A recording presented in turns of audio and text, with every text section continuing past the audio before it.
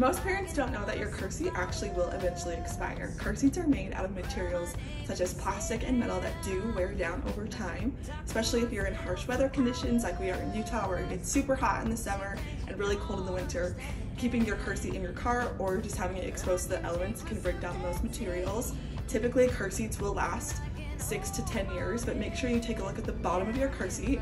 It will show you the manufacturer date when your car seat was manufactured, and then reference your car seat manual that shows you exactly how many years your car seat will last, and then you guys can get a new car seat.